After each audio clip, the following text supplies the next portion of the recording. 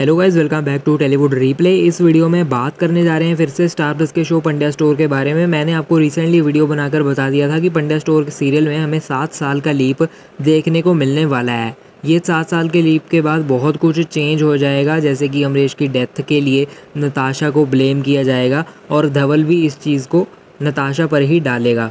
और भी अपडेट्स हैं डिटेल्स हैं जिसपे मैंने अलग डिटेल्ड वीडियो बना रखा है। अगर आपने नहीं देखा डिस्क्रिप्शन में लिंक है, जाकर वो वाले वीडियो को ज़रूर एक बार देखाइए। तो ये लीप के बाद जो एक काफ़ी बड़ा ट्विस्ट होगा और जिसके साथ कहानी आगे बढ़ेगी, मैंने आपको बताया था, वो ये थी कि धवल और नताशा के जो करेक्टर्स हैं, वो एक दूसरे से अलग हो जाएँगे।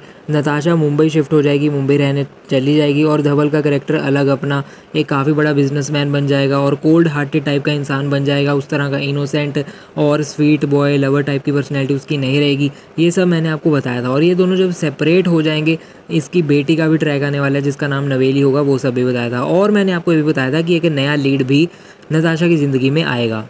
और गैस वो एक्टर को फाइनल कर लिया गया है। सागर परेख ये सीरियल में हमें देखने को मिलने वाले हैं, जो कि पैरेलल लीड प्ले करने वाले हैं इस सात साल के लीप के बाद। ये टाइम जंप के बाद हमें नताशा के ऑपोजिट इनको पेयर किया जाएगा और ये सीरियल में नताशा के नए लव इंटरेस्ट का करेक्टर प्ले करने वाले हैं। अब यहाँ पर ज़्यादातर लीव्स में ऐसा ही होता है। फीमेल लीड की ज़िंदगी में कोई ना कोई नया लड़का आ जाता होता है और थोड़े समय के बाद उस नए लड़के को निकाल भी देते हैं उसकी ज़िंदगी से और जो पुराने वाला लड़का है, उसको फिर से फीमेल लीड के पास लेकर आ जाते होते हैं। ऐसे हमने ज़्यादातर सीरियल्स में देखा है। एनीवेज गारंटी नहीं कि इस शो में भी ऐसा ही होगा बट हाँ अभी के लिए तो यही है कि सागर परेख इस शो के लिए फाइनल हो चुके हैं। इनको अनुपमा और दूसरे बालिका वधु टू जैसे सीरियल्स में भी देखा गया है। झलक दिखला जा इलेवन रियलिटी शो में भी इन्होंने पार्टिसिपेट करा था।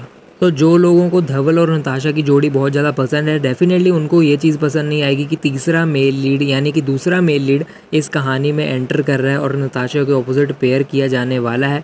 बट हाँ जब भी लीप्स लेकर आने होते हैं मेकर्स की यही चाह होती है कि शो की टीआरपी रेटिंग बढ़े। और टीआरपी रेटिंग ऐसे ही बढ़ती है ज़्यादातर हमारे इंडियन टीवी सीरियल्स की, जब वो एक थर्ड एंगल भी इंट्रोड्यूस करवा देते हैं तो इस तरह का लव ट्रैंगल वाला एक हिसाब क्रिएट हो जाएगा, ये सीरियल में भी बाकी और भी डिटेल्स अगर आप लीव के बारे में जानना चाहते हैं तो आपको बताई दिया डिस्क्रिप्शन में जो लिंक है, उस वीडियो को जाकर आप ज़रूर देखाइए, जिसको मैंने कल पोस्ट करा था, उसमें और भी डिटेल्स आपको मिल जाएँगी। बाकी पंड्या स्टोर की लेटेस्ट लीप न्यूज़ रोज पाने के लिए हमारे चैनल को सब्सक्राइब करके बेल आइकन दबा लीजिए, सारी लेटेस्ट इन्फॉर्मेशन आप तक पहुंचाता रहूँगा। फ़िलहाल के वीडियो में इतना ही, हम मिलते हैं अगले वीडियो में, अभी के लिए चलता हूँ गुड बाय